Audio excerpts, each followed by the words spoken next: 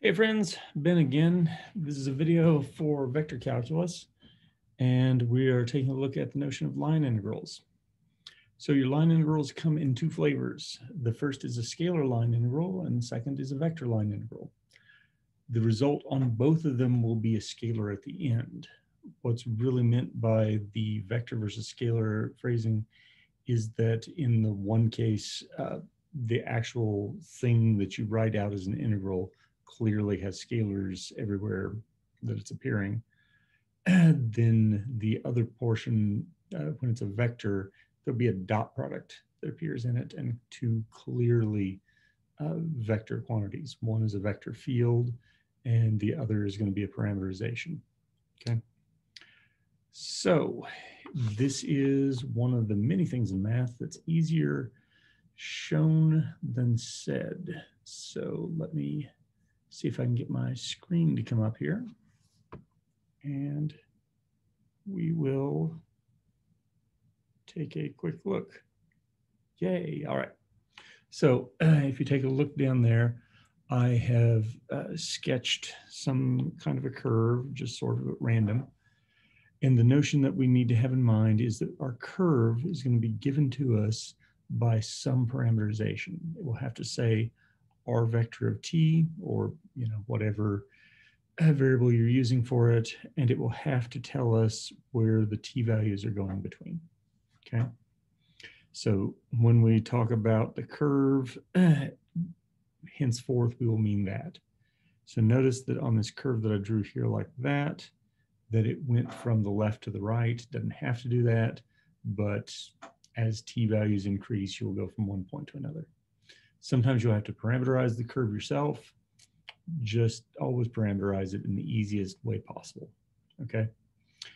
Um, oh, yeah. One of the things that you'll find out is that if you parameterize the same thing two different ways and do the uh, line integral two different ways, you'll get the same answer.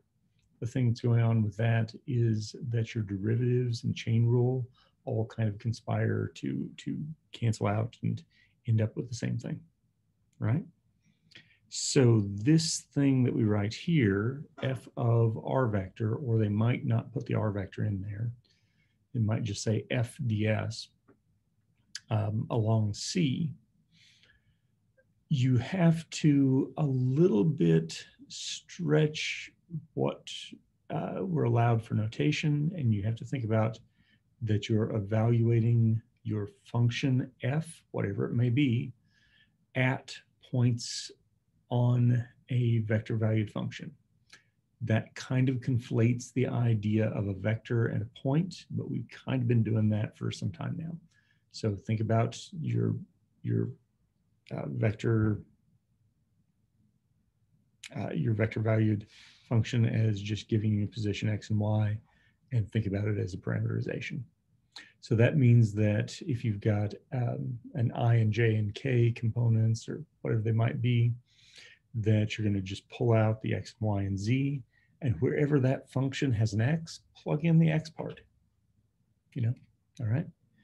So then when we do the actual integration, we are, no surprise, integrating from a to b, but you take your function, little f, and plug in your vector valued function as though it was parameterization. And then here at the end, this ds, you have to watch when it says a ds boldface, it's talking about a vector, okay? But if it says a ds and it's not boldfaced, then it's referring to a scalar. Um, when we talk about vector valued functions here in a minute, I'll show you the way that I tend to notate them it's just a little bit different, and I feel like it makes things a little bit less confusing. Well, maybe not less confusing, just less likely to confuse two things. All right, so, so in any case, as you are aware, all integrals are always going to be summations, and you're taking a limit on your summation. And I can see that I, on my limit, did not put double lines there like I'm supposed to. All right. But uh, it's a summation and you're taking a limit As your partitions go to zero, by partition, I just mean the little chunks that you break up your curve into. But your partition going to zero means taking it so that the size of the largest chunk is going towards zero. And f of r vector of t for some point in the chunk. And then this delta s sub i would be the length of the chunk. So if you're thinking about lengths of lengths of chunks and you're thinking infinitesimal, then that's where you get taking this velocity and uh, its magnitude speed multiplying by dt and thinking about it as though it was a straight line. Okay. All right. But the uh, thing that we do with calculating is not going to be actually summing up an infinite number of things. We are instead using calculus. So in this one here, I say, uh, and I tried to make this into an example that was a little bit on the complicated side. It says, let your C be the line segments from 0, 0 to 2, 1, and then from 2, 1 to 4, negative 7. So if you're not visualizing that immediately, uh, don't sweat that too much. We are going to think about, let's see, maybe I will change the color of this to be uh, white. So we've got a path that goes along like that, and then maybe goes down like that. Okay so that this must be the point, what did I say, 2, 1, and this must be the point for negative 7. Okay, so what we're going to think about is each one of those line segments is its own curve. And then in order to integrate this, we're going to integrate along each piece of curve and just add them up. Just like you did with breaking up things into subintervals back in Calc 1 feels a little bit different here and your textbook may make a big deal about, oh, let's do a piecewise defined curve. Don't worry about that. Just break it up into pieces. That's all there is. So with regard to that, I'm going to refer to the first curve as C1. If you don't like subscripts, then you can call it A and then the next one B or something but I am going to have to say what my x is equal to and what my y is equal to. And I am super lazy, so I always try to make my t that I'm talking about go from zero to one. And so if I let my x be 2t and my y be t, then I can say that t going from zero to one will start at zero and it will end at two, one, okay? So really all I did was to think about the vector that got me from zero, zero to two, one, and I multiplied it by t, okay? So in doing that, if I do my integral across C1, see here's why you might not want to uh, use the subscripts because it's multiple subscripts there but uh, of this x minus y ds is going to be an integral from 0 to 1. Now we take the x, which was 2t, minus the y, which was t, and then afterward we've got to say what ds is. Now remember that ds is going to mean that you have to think about this r vector of t and then this r prime of t, and then the magnitude of r prime of t. Oh, I put too many primes in there. And that is just going to be the square root of 5 here. Okay. I'm going to take that figure in that I did and scoot it up a little ways so it's just out of my way. So square root of 5 dt. And then that means we're just doing the integral 0 to 1 t root 5 dt, and you'll end up with 1 half square root of 5. Okay. Calc 1 integral, you ought to be able to do that without too much problems. So then we need to do the second part, right? On the second part, we're going to say something about our x and our y. And we know that we need to start at the point 2, 1.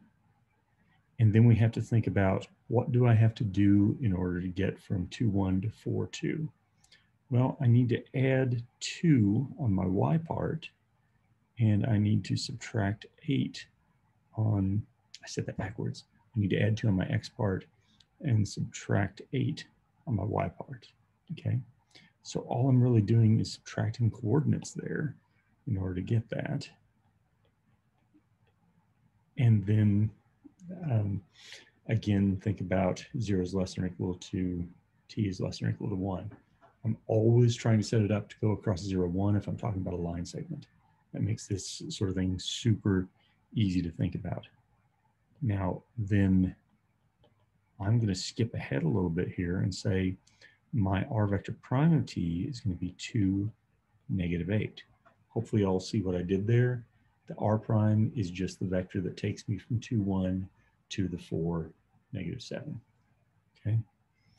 And so now when I do my integral across C2 of x minus y ds, it is the integral from 0 to 1 of, this would be a little bit more complicated, 2 plus 2t minus 1 minus 8t. And then I have to say my ds at the end.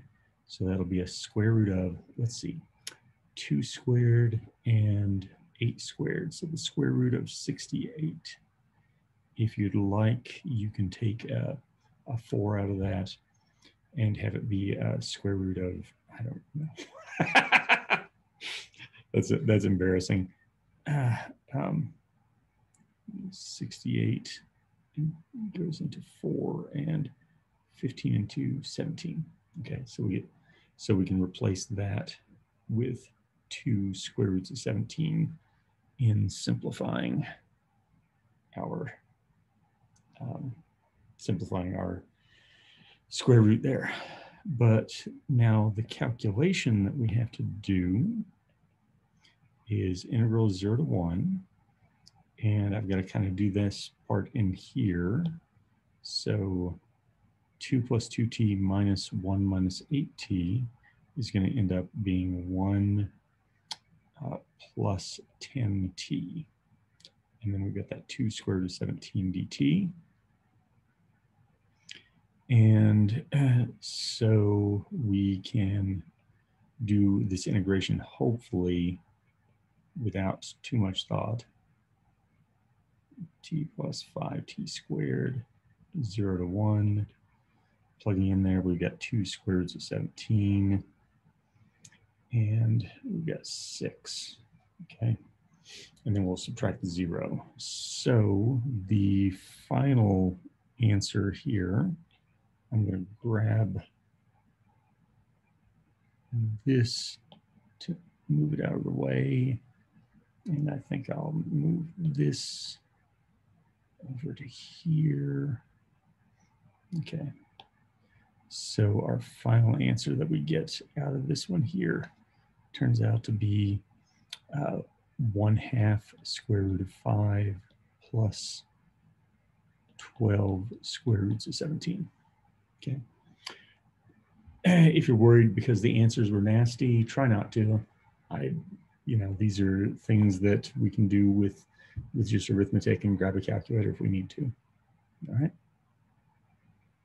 All right, notice I'm zooming right along and going into vector line integrals because conceptually they're harder, right? I think with the uh, scalar line integrals, you're just gonna make substitutions. The worst part might be that you have to figure out your parameterization sometimes. So with your vector line integrals, the notation for them is going to have what's clearly a vector field dotted with this dr. This is what I mean about I use a notation that's a little bit different because I don't want to mix up scalar and vector line integrals. So I always use a dr vector. Some textbooks use a ds vector. And oh my God, it is such a nightmare because they we'll use d little s in italics to mean your scalar line integrals, d boldface s to mean your uh, vector valued line integrals. Then when we switch and talk about surface integrals, it will be capital italic S and capital boldface S. Just, just use more letters, guys, just crazy. So, all right. Anyway, though, like before, we have a curve that's parameterized. As a matter of fact, I even copied the same curve in here. But now in that, we have this vector field, and it's going to be defined everywhere across the plane or some subsection of it. But I just tried to draw kind of a a vector field in the general area close to my curve because that's really all I need. Okay. So like before, you, you should know that this is a limit of uh, something where you're adding up things that are happening at, at these chunks alongst the curve. But the dot product is kind of a big deal there, okay? We, we often inter interpret this with a force and a distance. Force times distance or force dotted with displacement is going to be work. So often the interpretation that we put to a vector line integral is going to be a total work done on a particle moving through a vector field alongst the path C. Okay. All right. So let's take a look at one of these here. And for this one, we have the C given to us already, T, 3T squared and 2T cubed. And the vector field is something fairly nice. It's just X, Y, Z. So in calculating this, uh, we are simply going to say equals the integral 0 to 1, because it said 0 to 1 in there. And then our vector field has the xyz. I'm just going to copy t, 3t squared, 2t cubed, because that's the xyz, dot with. Now I'm going to take and do the derivative of my r, and that's going to be 1 6t and uh, 6t squared. And then we put a dt at the end. So now we have an integral 0 to 1. We'll have a t plus 18t cubed plus, uh, let's see, 12t to the fifth dt. All right, so 1 half t squared plus let's see, 18 fourths is going to be 9 halves t to the fourth plus 2t to the sixth, 0 to 1. Plug those in, you'll get a 1 half, 9 halves to 2, and then minus, minus 0, of course. And so that will turn out to be what, 7? Is that right? Yeah, 7. Okay boom, right? So you have to have to be able to do some of the dot producting and derivatives and so forth as you go along. But these really aren't that difficult of a thing to do. All right, let's do another one here. Um, I don't do I have? Yeah, I've got a couple of a couple more examples here. So this one, we're finding the work done on a particle as it moves along this parabola. Now here I've um, maybe maybe uh, confuse things a little bit because I said y equals 3x squared, and you're like, oh no, where's the z that's in this part? Well, the z, we're just going to have be zero on this one. And so, so my r vector of t, my parameterization, I'm needing to parameterize the y equals 3x squared. Well, since y is a function of x, it kind of makes sense to let the x be t, and then y will be the 3t squared, z will be 0, and when we need it in a minute, the r prime will be 1 and 6t and 0. So our integral is going to go 0 to 1. Now we've got to think about our f. Our f says x, which is just t, minus y, so minus 3t squared, and then um, x plus y plus z. Hmm. Okay, so x plus y is t plus 3t squared. And z, of course, is 0.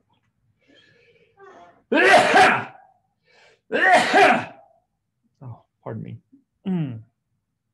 And then the r prime, 1, 6t, and 0 and dt. So we have an integral 0 to 1. And remember that when you take a dot product, you don't get a vector, but rather a scalar. So t minus 18t cubed and plus 0 dt. So we're going to have 1 half t squared minus uh, 18 fourths. That sounds familiar. 9 halves t to the fourth, 0 to 1. So 1 half minus 9 halves equals negative 4. Okay. So the work that you've got being negative means that, yeah, uh, when you have positive versus negative work, then it says something about the direction that it's being done in. And um, I'm going to leave it to somebody with a better ability to explain physics to say something about that. So, all right, last example here. This one we're introducing a slightly different notation. So if you see integrals where they don't have the dr vector, but instead have a dx and a dy in there, that's what's referred to as the differential form. You can probably guess exactly what's going on with those. You're going to replace dx with the derivative of whatever the x is. Okay. Same sort of thing for the y. Now, if you're like me, you might need to stop and say, well, what is dx? Because we've got to actually do a product rule on this. So it's a little bit of a mess. But 2e to the 2t cosine 3t minus 3e to the 2t uh, sine of 3t.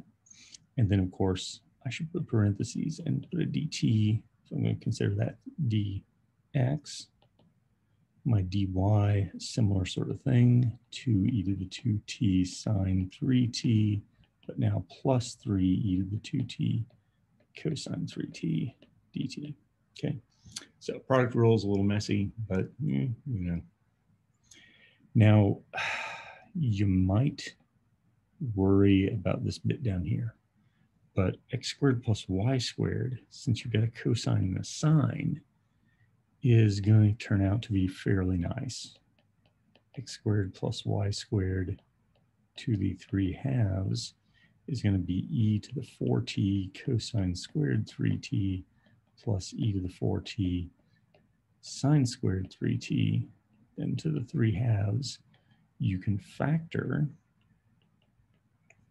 and have cosine squared plus sine squared, which is 1. And um, and then I hope that you all can uh, be distracted here as I change that to be what I actually meant it to be. And so then you end up with an e to the 6t out of that, right?